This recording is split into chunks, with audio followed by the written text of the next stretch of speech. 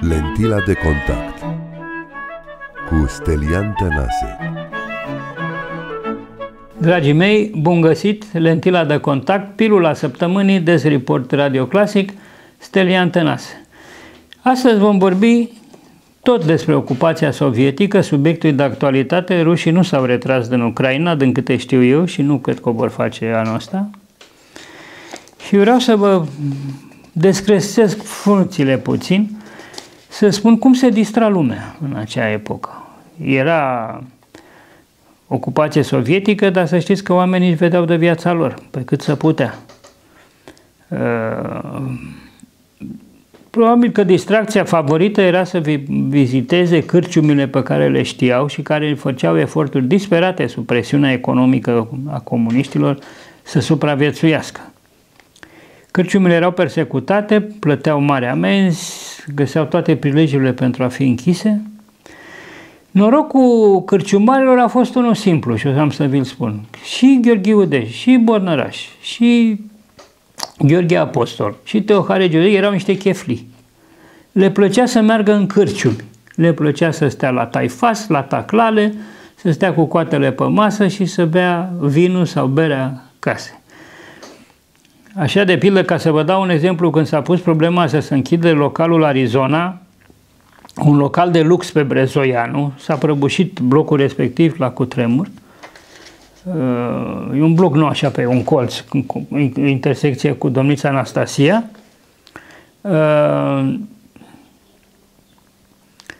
a fost o mare problemă pentru că pe cine să trimiți ca să închidă localul, pentru că în local se aflau Gheorghe Udeș, Bornăraș, Teohare Gerdescu și se duceau tot timpul. Se duceau după fetițe, se duceau să bea un vin bun, dar se duceau și că ei se simțeau mai oameni așa, adică mai elită, nu? Era elita burgheză, le plăcea asta. Ei vreau de fapt să fie niște proletari cu haine burgheze, cam asta era în capul lor și să păstreze puterea.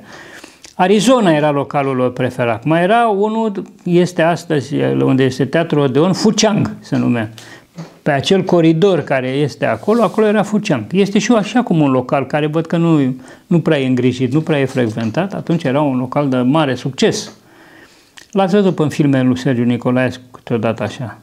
Dar acolo era un local într-adevăr vechi, cu tradiție și unde să, cei mai buni cântăreți, orchestre românești să reproducea. Nu trebuie să vă imaginați că ar fi cântat muzică japoneză, nu, acolo era cu ring de dans, cânta muzică americană, Glenn Miller, Duke Ellington, In the Mood, uh, Chattanooga Ciuciu, astea erau marile șlagăre, Begin the Begin.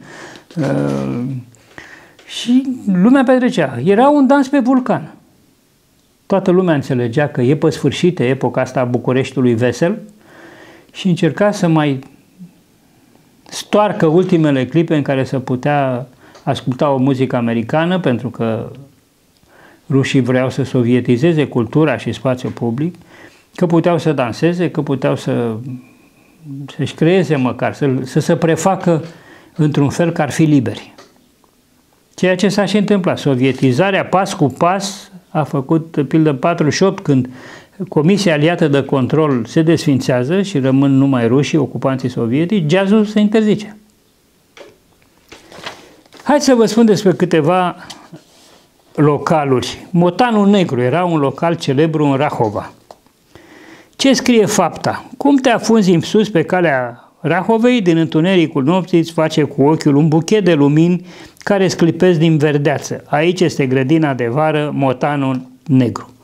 Un grum, adică un stiu, un steward, se repede să-ți deschidă portiera. Îți dai seama că ai intrat într-un local bun, în perfect stil parizian cu imitații de coloane care susțin ziduri întregi de verdeață. Totul este elegant, distins și curat. Chelneri politicoși, picolițe înalte, zvelde și grupuri amuzate de consumatori.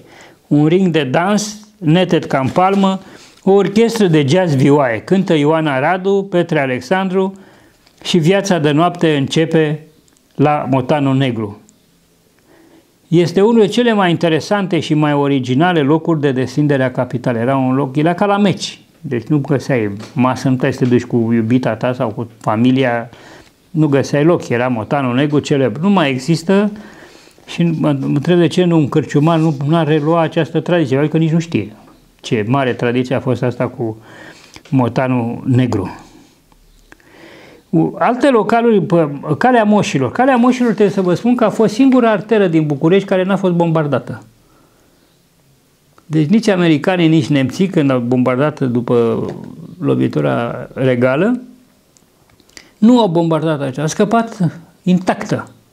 Și erau niște localuri aici unde se petrecea foarte bine, de pildă la Zisu, local de lux din acest cartier, cu o orchestră de șapte persoane, având ca dizor pe cunoscutul tenor Costa Blicos. Eu n-am auzit de el, dar asta e. Face să se încingă chefuri care țin până dimineața. Calea Moșilor este singurul cartier din capitală, exact ce vă spuneam, care nu a suferit de pe urma războiului. Nici o bombă căzută, nici o casă incendiază, nici o clădire dărâmată. Locuitorii lor au, locuitorii au botezat cartierul Cetatea Vaticanului, pentru că de asemenea n-a fost lovit de vreo bombă. Pe o cale de 2 km se găsesc 3 cinematografe, 16 bodești, 5 restaurante și un local de lux. Îmi place asta. Este, era un, un oraș, cum sunt orașele turistice occidentale de azi. Despre asta e vorba. Mai erau două localuri, Nababu și la doi ochi sub plapumă, foarte cunoscute și foarte populare. Negustorii sunt de toate națiile în cartier, armeni, greci, bulgari, evrei, români. O adevărată Liga Națiunilor. Paradoxul, dau un, un citat dintr-un ziar, paradoxul acestei străzi în materie de negoți este că se poate găsi orice. De la mă... Dar, atenție, de la măcelar cumperi unt și brânză, la debitele de tutun iei carne și de la cizmar zahăr și un de lemn oricât ar încerca agenții să acopere adevărul, pentru că erau urmăriți de poliția sanitară, de agenții care vreau să vadă specula și contrabanda, deci te duceai la debit să cumperi carne și cumpărai de la măcelărie chibrite, țigări și mai știu eu ce. Asta mi-a plăcut. Calea moșilor, trage concluzia autorul nostru, își păstrează cu dibăcie secretele. Așa era, dar trebuia să știi secretele astea. Trebuia să fii din cartier, să circul pe aici. Pe Dorobanți, care și atunci era mm, bulevardul de Fițe, da? Erau trei localuri mari, Parcul Cleo, Monjardin, care a rămas până târziu, în anii 70, și Aro Maxim Zigzag. Vă povesteam de Arizona, da? Mai vă spun niște lucruri. Era un local select pe strada Brezoianu, colț cu strada Domnița Anastasia. Avea o clientă insolită, de la protipendadă, burghezi, agenți de bursă, neagră și interlop. Puteai să te intersectezi la Pișoar cu Gheorghe Udej, Emil Bornăraș, Ghița Apostol, Teohari Georgescu. Mă rog, dacă te lăsa bodyguardul să te apropii. Veneau la Arizona ca să admire dansatoarele, să soarbe o băutură fină, să se simtă și ei domni pentru o seară. Nu ceți mai departe, pentru că mai bine citiți cartea. Uh...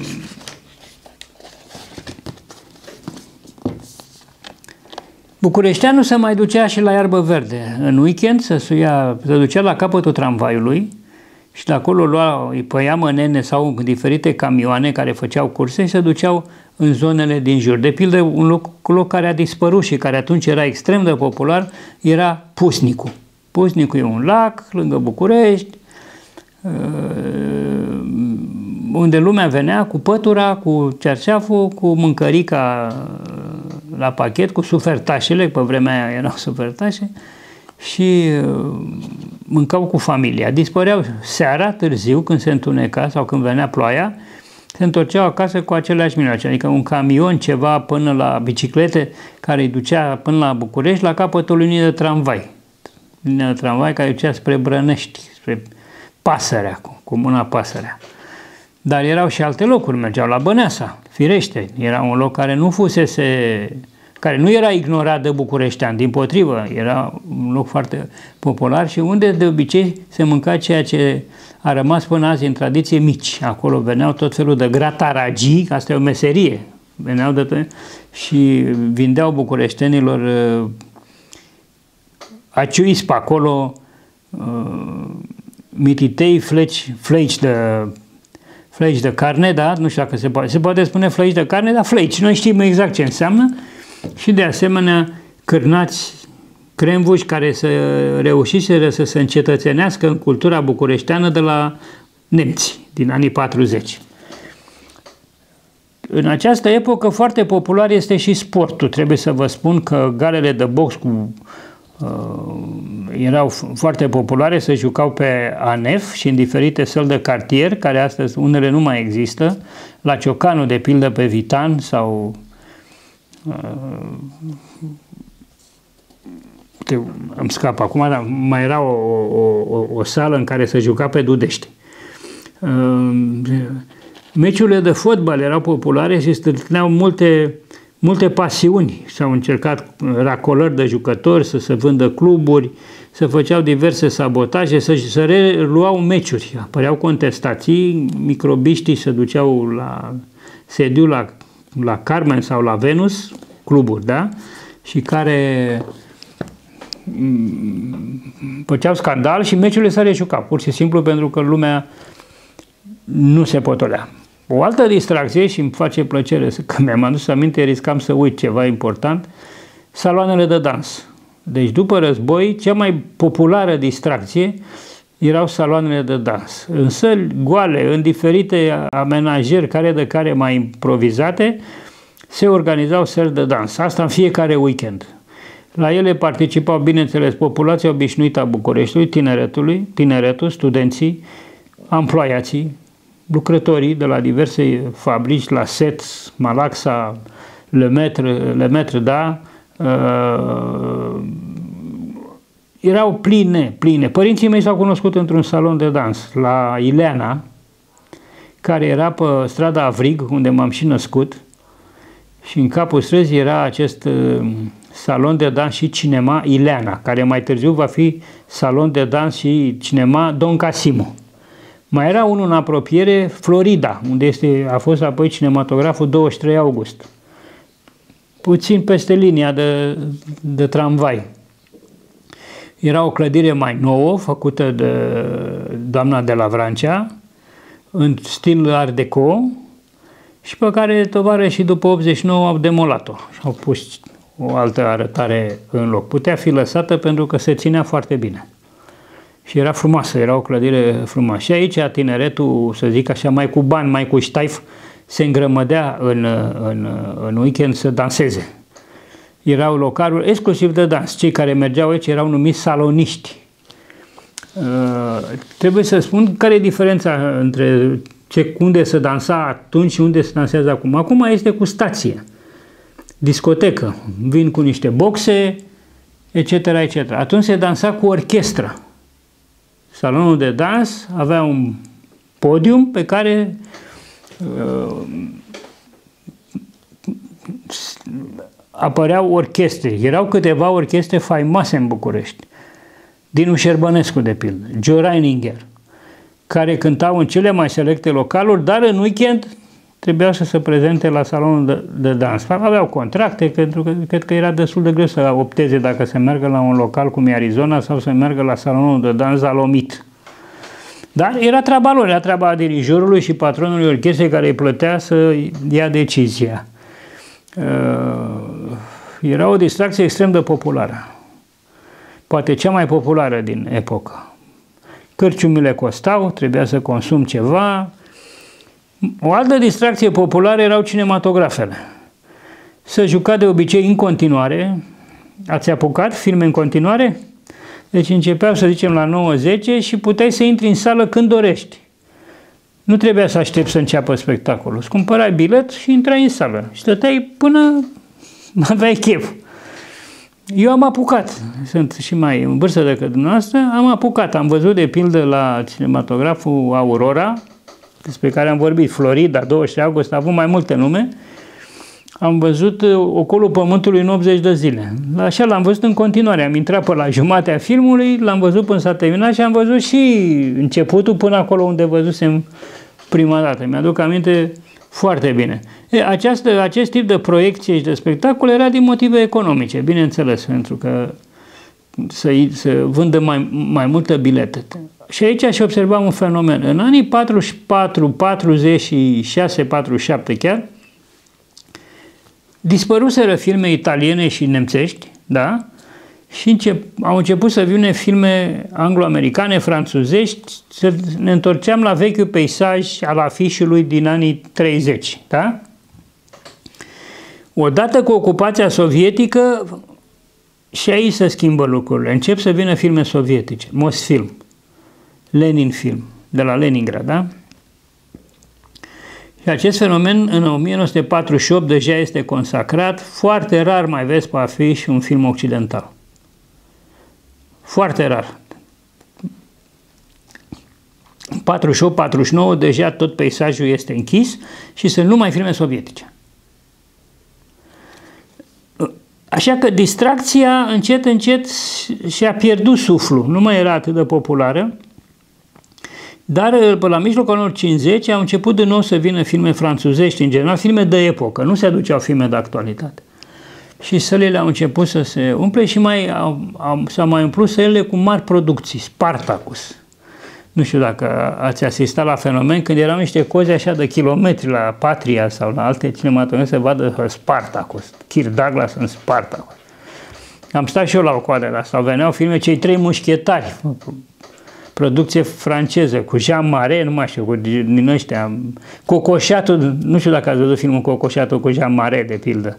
Deci veneau foarte multe filme de epocă pentru că aveau, nu aveau probleme cu cenzura, da? Și această distracție populară și-a căpătat și-a recăpătat suflul pentru bucureșteni. Eu zic să ne oprim aici cu distracțiile bucureșteanului, putem să lungim discuția și să o reluăm când dorim. Vă spun la revedere, ne vedem săptămâna viitoare, lentila de contact, Des Report, Radio Clasic, numai bine!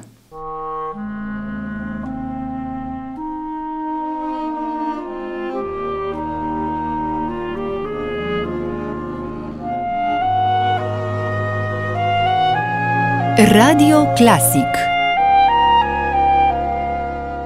Un radio în culori